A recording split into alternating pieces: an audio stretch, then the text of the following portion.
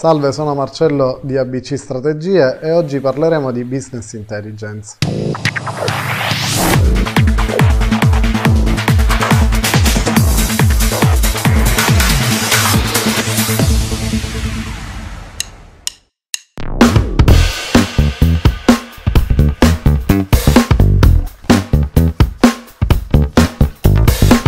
Marcello, cos'è la Business Intelligence?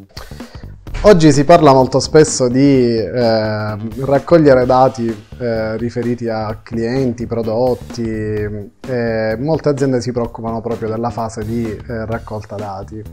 Eh, questo ha generato negli ultimi anni una eh, spropositata direi raccolta dati eh, da parte di tutte le aziende e questi dati spesso si ritrovano eh, sparsi un po' eh, dappertutto all'interno dell'azienda.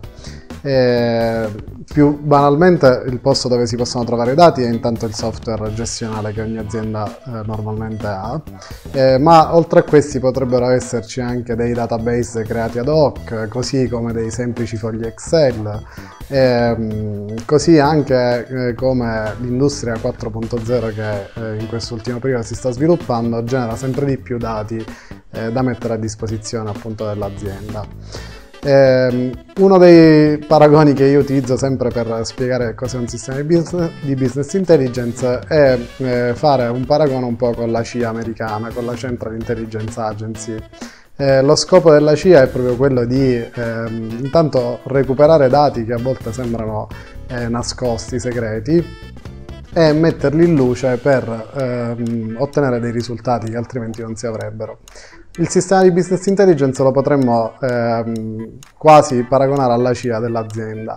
Quindi è un sistema che appunto raccoglie tutti questi dati che sono appunto sparsi su diverse fonti in azienda e li mette e li elabora, li mette insieme e li elabora proprio per ehm, dare modo all'azienda di poterli analizzare. Qual è lo scopo della business intelligence? Sì, eh, lo scopo della business intelligence è appunto mettere a fattor comune tutti i dati presenti in azienda che si trovano, come dicevamo, in più fonti. Una volta messi assieme, naturalmente il software di business intelligence ha lo scopo di sintetizzarli, perché se è vero che abbiamo tanti dati, il nostro obiettivo deve essere quello di ridurli in indici sintetici. Questa, eh, questa riduzione naturalmente a volte genera una prospettiva diversa guardando lo stesso dato attraverso un sistema di business intelligence. E infatti grazie a questi si possono creare sia indici di performance da monitorare, sia sistemi di controllo di gestione, ma anche fare delle previsioni e cogliere delle opportunità oppure rilevare delle criticità.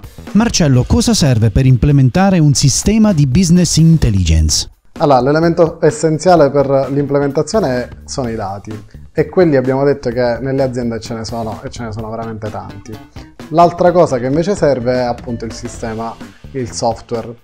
Il software che noi utilizziamo in ABC è ClickSense, che è uno dei più potenti esistenti al mondo, e ehm, l'altra componente fondamentale che noi aggiungiamo è tutto quello che riguarda la progettazione, la realizzazione quindi dei, delle dashboard e inoltre la formazione, poi l'assistenza e il miglioramento di questi cruscotti man mano che si usano nel tempo.